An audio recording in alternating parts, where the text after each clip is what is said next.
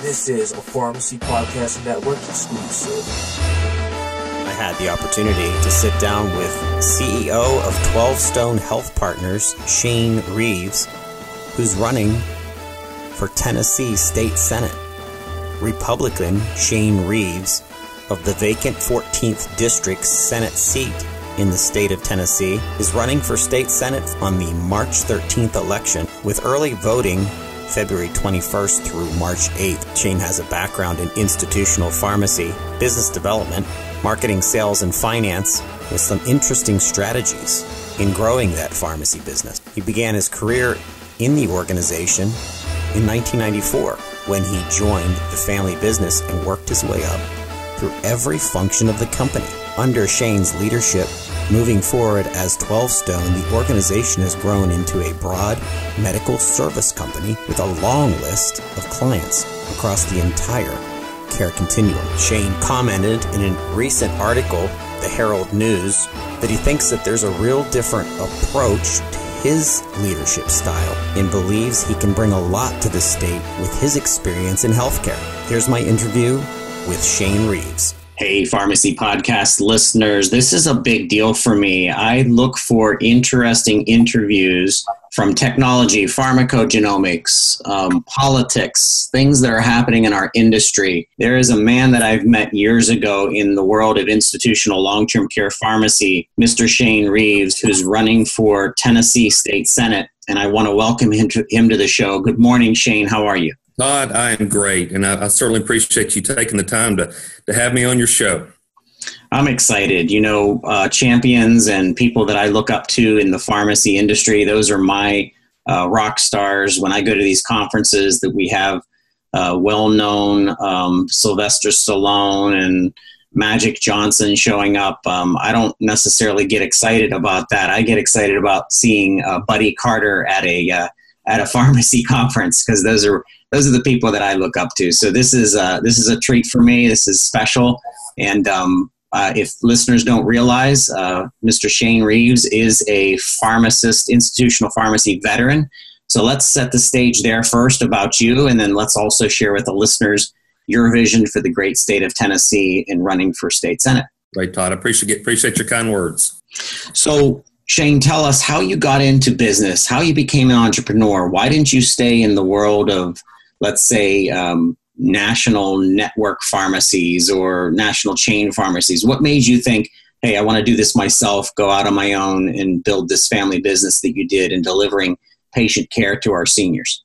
Sure. So let, let me give you just a, a 30,000 foot view on, on me and my life. So, you know, I live in Middle Tennessee, right outside of Nashville, Tennessee. My family has lived, it's a, it's a small community called Murfreesboro, which is right down the road from Nashville my family has lived in that community for seven generations. Uh, originally moved to this to this area in 1780, which was actually about 16 years before the state of Tennessee was even founded. So my family has lived uh, in Middle Tennessee for generations. My my family has actually been practicing pharmacy for 120 years. Uh, Todd in on our local square around 1900 and over the years got his son into it who got my dad into it who ultimately got me into pharmacy in 1994 when i graduated pharmacy school.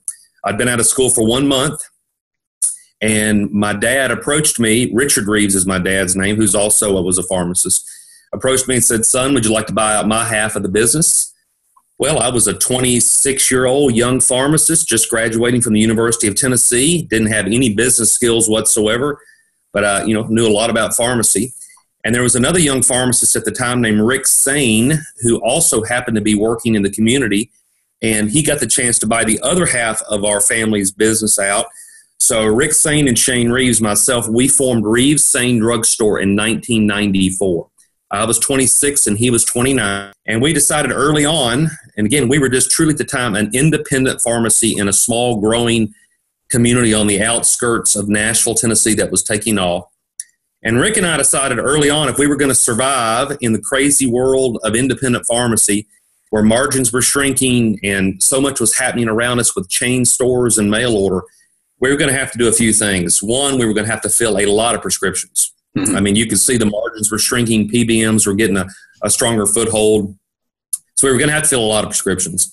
And the second thing we were going to have to do is we were going to have to get some business skills and spend some time working on the business as well as working in the business and to really get serious about what it's going to take to grow a business. Top line bottom line you know we learned a long time ago that top line is vanity bottom line is sanity. I mean you got to make money you know to do this. You just you can't simply focus on growing your growing your top line and make this work. We you know also from a business perspective we started surrounding ourselves with some really smart people that weren't necessarily pharmacists but they were they were great in finance great in technology great in operations great in hr uh, building people around us in those mid 90s so like I said there were three things first thing is we needed to uh, fill lots of prescriptions second is to start really thinking more like businessmen and the third thing is um, we recognized we were going to have to get into some other niches. Uh, independent pharmacy is is difficult if you're just simply focusing on the on the meds. So we began the process probably in the 95, 96, 1997 of starting to open up. Literally, we were opening up almost a business a year. Um, and then other pharmacists out there that are listening to this or physicians that are listening to this podcast know that you know the government doesn't make anything easy so every time you open up a new business you've got to get new contracts you got to get new tax ids so at one point in time we had seven different corporations They were all kind of working together because we had to to function all those um, those all had to function separately in the marketplace but we got into compounding traditional compounding in our retail drug stores which we ultimately had three of those um, you know by bhrt topical plo gels compounding for vets, for pedi- uh, for pediatrics, for dermatologists, a, a big compounding business. Uh, we we got into the packaging pharmacy business. We had one local nursing home call us and say, "You guys ever thought about packaging for nursing homes and assisted living homes?" We said yes. So that began the institutional pharmacy run for us in the mid '90s, which ultimately grew across the state of Tennessee. We opened up a home infusion company. Um, antibiotics, chemo, nutrition, hydration, pain management. Also during that run, uh, we we got into the DME business, walkers, wheelchairs, hospital beds. We got into the respiratory business. Uh, we we opened up a pretty big diabetic business along the way, which we the strips and the meters and the diabetic shoes. Um, and and then everything else across the board. You know, we formed a holding company for all the businesses could fit under it. We we had a properties company to manage all of our real estate, and so Rick and I were involved in a lot of Rick Sain and I were involved in a lot of different businesses all the way up through about 2010. So the time we got to 2010, Todd, we had about 200 employees. We were doing about 40 million in revenue. Um, our business was incredibly uh, fragmented and diversified, but we found that our diversity was our strength as well as our weakness. I mean, uh, the diversity side of our business just required us to focus on so many different industries. I mean, you've heard me mention there, we, we had retail pharmacies, we had institutional pharmacies, we had home infusion pharmacies, which all have their own nuances as far as the way to, to run them. But our diversity would make us strong because at any given time, you know, the way our industry changes so much, we'd be making money in something. You know, yeah. I mean, long term care might be on top, but our oxygen business might be collapsing because Medicare was making so many changes to competitive bidding. And we might have a window of time where our retail traditional compounding business was taking off, but our home infusion business might be going the wrong direction because a big local hospital might be entering a joint venture with another home infusion company. So our diversity gave us the, ability to weather a lot of storms, but it also caused us to have a lot of fragmentation in what we focused on. And that was up to about 2010, 2011. Then my business partner, again, who was a few years older than me, approached me in about 2000, about 2010 and said, Shane, listen, we got 200 employees, we got six or seven corporations. He said, let's, let's, can we take some chips off the table? I would really like to exit something. Well, the problem is, and I'm sure some other pharmacists across the country have dealt with this in time. You um you, you don't want to you don't want to sell your business that's on top. the one that's generating all the revenue and all the EBITDA, you don't want to sell that one because if you do, you're, you're still going to be left with some other companies that are going to need cash. You're going to have some businesses you're trying to grow, and you might have some parts of your business that are going the wrong way that you might want to save as far as your cash is concerned. So we can never really find the right mix um, or the right timing to sell our businesses. Then in 2012, we had a friend of ours approach us and say, Have you guys ever thought about getting into the specialty pharmacy business? And we told him at the time, said the last thing in the world we need is another business. we got plenty going on. We got our hands in so many different things. Uh, this guy had a little bit of experience in the specialty world. Um, you know, this was five years ago, and we said, "Well, listen, we've got a little, we've got a little closet area, literally in the back of our drugstore. If you want to go back in the back there and set up a specialty business, knock yourself out." I mean, that's what that's what independent entrepreneur pharmacists do. No matter what your settings might be, long term care, hospital, or independent, you you find a space and you kind of make it work if it makes sense. We gave this young young man a well, he's probably in his late 30s, early 40s. He's fairly young. Gave him a space and said, uh, "Sure, open up this little independent uh, specialty pharmacy business running under our Reeves Sain Drugstore umbrella. That corporation is what we were, we're going to run it under that corporation. We said you can use our computer systems, you can use our HR department, our IT department, our, our, our branding, whatever you need to kind of get this going. You can use our tech to fill the prescriptions. So we formed a little business called Entrust, E N T R U S T, and that was in March of 2012, Todd, that we opened up this little Entrust business. And we happened to open it up at the exact same time that Sovaldia was hitting the marketplace for the hepatitis. Okay. And we hit it almost the exact same time. We went through the process over all of March, of, over all of 2012 to get all the accreditations to start getting licensed in multiple states. And that one drug, and this was before Harvoni and some of the other products that had even hit the market, that one drug just took off in the Middle Tennessee market. So by Christmas of 2012, December of 2012, that little specialty business, that little back office in Sovaldia business, was doing equivalent revenue to the entire rest of our company combined. Jeez. I mean, in nine months, nine months, it just exploded. And, and I'm sure there's other pharmacists out there that are that are doing this that have a similar have had similar experiences. Now, your gross profit's not as much. I mean, you're not making these you know 15 20 25% gross margins or 30% gross margins like you might see in uh, institutional and certainly not 50% margins like you might see in home infusion. So your gross margins are much tighter but whenever you're selling medications for $30000 a pop you don't need as much money from a gross profit perspective. So by december of 2012 that little Entrust business had just exploded. It really did by December of 2013, it was five times bigger than everything else we had combined. It was doing, you know, $20 million a month in revenue almost by itself. Um, and the rest of my business was still doing about four, four, four and a half.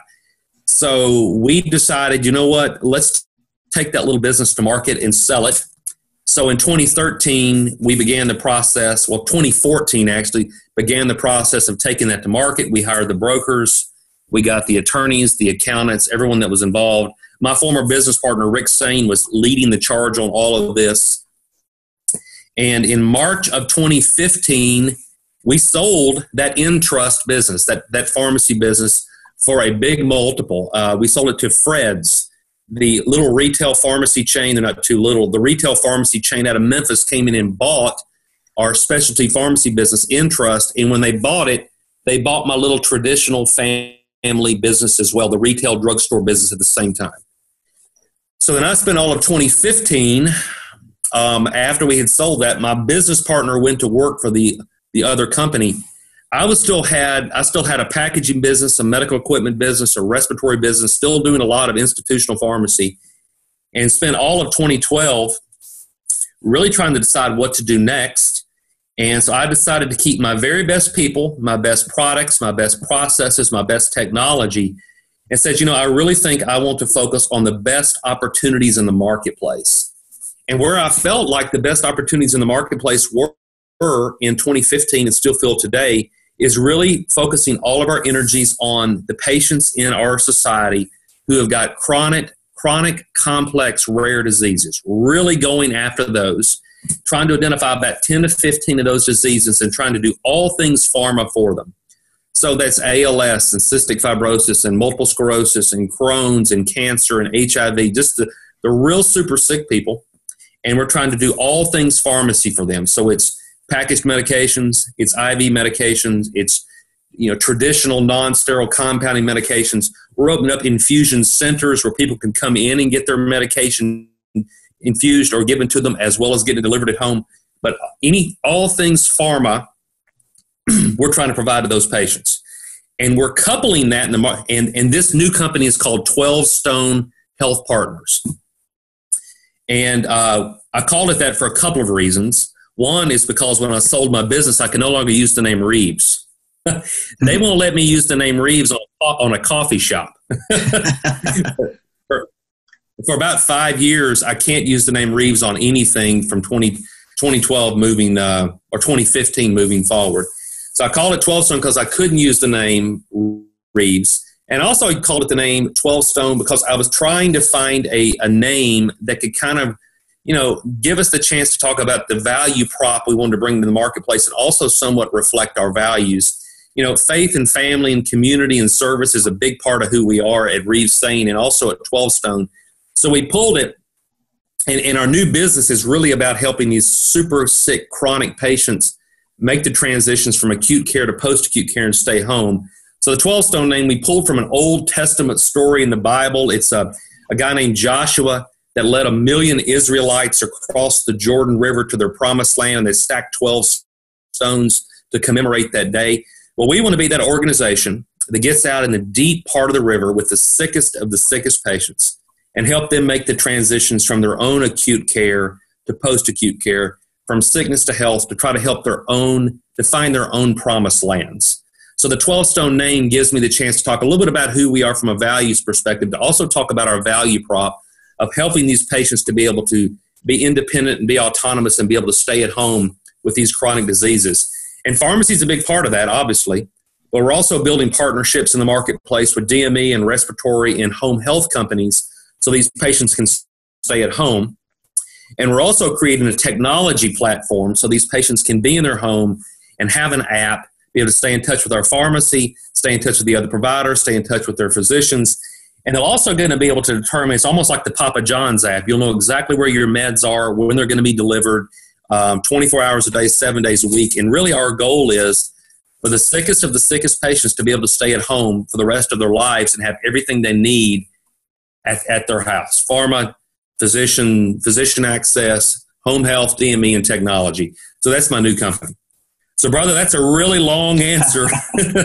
yeah, Shane, it, it it's uh it's a testimony to who you and your family have been all these years within your community and now of course it's sprouting out bigger than just your community bigger than just the state but this is the head scratcher for me this you're a i look okay. at this at this successful entrepreneur in a healthcare space that's hot that's necessary. You finally put all the puzzle pieces together. Several of those puzzle pieces have have evolved and disappeared into other uh, opportunities and 12 stone comes about and you've kind of set everything up to really scale and and continue to build. And then all of a sudden you obviously got some kind of calling as the servant leader that you are to to take and to gamble in some ways the stability of everything that you've grown and everything that you've built to run for state senate which to me it's like this guy's got it all going on. He could continue to scale. I don't want to say it's it's easy at this point because nothing's ever easy especially being an entrepreneur and building a business and having employees and having a family and having responsibilities but you you have this clear path that you've finally grown into and now you're deviating from that path and you're going to take the responsibility to run for state senate so how do we go from from this long road of of hard work and and and the success that you've you've um, obtained, and now all of a sudden you're going to run for state senate. So that's um, you know I, I look back on my I look back on my life, and you know one thing I didn't mention along the way there is my father.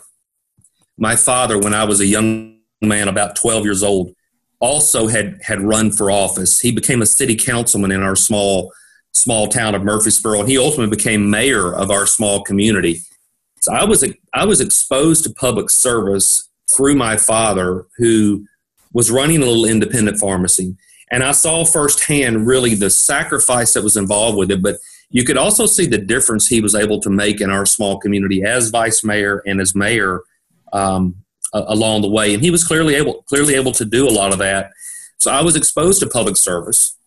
And so when I got out of pharmacy school, like I said, I was about 25, 26 years of age. I really wanted to make my way in the pharmacy sector. And I thought, you know, at some point in time, if the timing was right, I might jump into the public sector. Well, almost, I had been out of school about two years and I was about 28. I'm 50 today, by the way, for those who are wondering. I'm about 50. I just turned 50 in January. So when I was about 28, I got an opportunity. Somebody approached me and said, Hey, Shane, you're this young pharmacist here in town. You're building this company. Uh, you ought to consider running for a local county commission seat. And I sat down with my dad, and as you can see, my dad's had a huge influence in my life, as well as my mother, who was an educator. Um, uh, I sat down with my dad, and I said, "Hey, this opportunity's presented itself for me to run for um, to run for county commission." And he gave me some of the best advice to this day that I can ever remember. And he said, "You know, son, probably one of the best things you can do is to make your way in the private sector. You need to you need to get married." And you need to have children. You need to open a business. You need to pay some taxes. You need to hire some employees. You need to save some money. You need to spend some money. You need to give back to your community and to your church. You need to serve on some boards. He says, and you just need to get a sense of what it feels like to make your way in the private sector, personally, professionally, financially, spiritually, to really get a sense of all of that. And when the timing is right, you know, you'll be so much better equipped to serve in a public public role than you than you are than you are now. So honestly, Todd, I had felt like that was probably never never going to happen because um, you know I had opportunities in my 30s and in my 40s, and it just never seemed to be right. My children were always young. Uh, my business was always growing and very complex with a former partner. And I had really felt like the timing was just never going to be right. And so I'd kind of almost put that on the shelf and said, I'm going to make my way and make try to make the difference in the world that I can in the private sector. And then I got a phone call last October from the the existing state senator in my district in Middle Tennessee. And his name is Jim Tracy.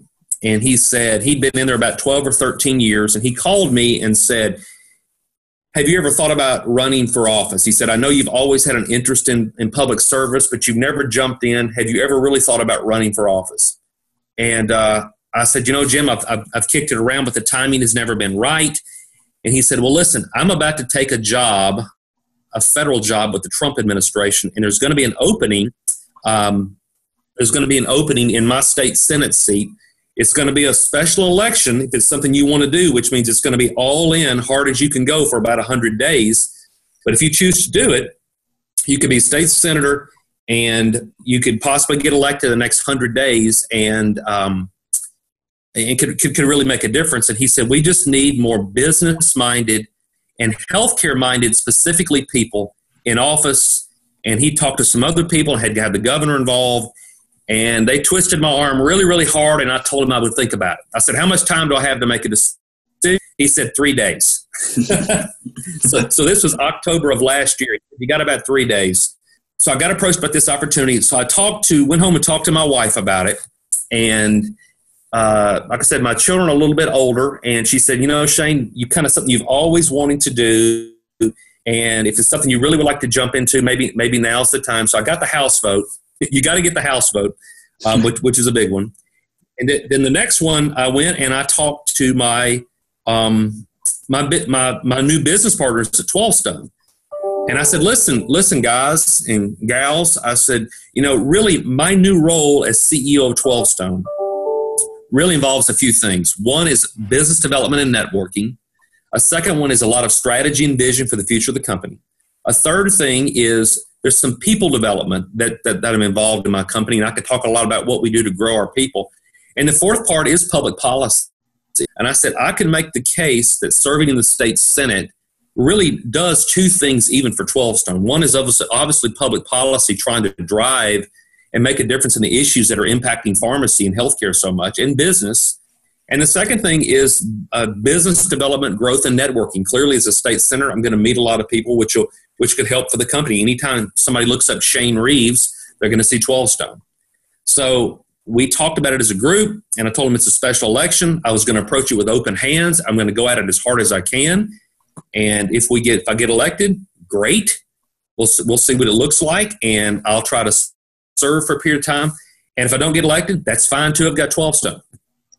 So November 1, I jumped into this crazy world of politics, my friend, and it has been a crazy, crazy ride. Um, I approached it a lot the way I pro- practice, uh, have uh, approached running my business. I got a great team around me. We had a good message. Um, I raised the money to be successful in my primary race. And on January 25th, I won the primary um, in, in, my, in my district, Republican primary. Middle Tennessee is very, very conservative, very, very Republican. So uh, that was really the race. But I still have a, I don't know when this podcast is going to run, Todd, but I've still got a general race on March 13th. Early voting actually starts two days from now. So if there's any pharmacists or physicians or anyone out there who wants to know more, more about my campaign, by all means, you can go into Reeves4TN com. I'd love to have your thoughts and support and contributions, whatever you want to do to help me with that. But March 13 is going to be my general race. And if that happens, then I'll be sworn in as a state senator in late March. And the way the Tennessee Senate works is we, we generally get out about the third week of April. So for the rest of the year, from May to December, I will be a state senator, but I'll be out of session. So I'll still be able to work in my business actively for about eight months and still be a state senator for, for the rest of the rest of the time meeting the needs of the district moving forward. So really it's the first four months of the year that I'm in Nashville in the General Assembly, all in, hands on, being the full time state senator. The rest of the year, I'm a big believer in just citizen legislators. I'll be working in my company you know, the majority of the time and serving as a state senator on the side. So to answer the big, big question, the timing is right. I have the support from my family, my business. I feel like my capabilities are right at the age of 50. I'm a good strategist. I'm a good problem solver. I'm innovative. I'm decisive.